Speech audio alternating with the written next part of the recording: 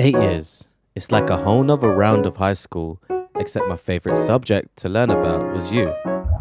I've been so blessed to be your freshman and grow old to a seniors. My heart for you grows sophomore, and I can't wait to have a juniors. Until that day that we graduate, I'm glad we ate. Every second of this love is soulmates. Passing with a first class distinction in anatomy, cause loving you is the only important degree.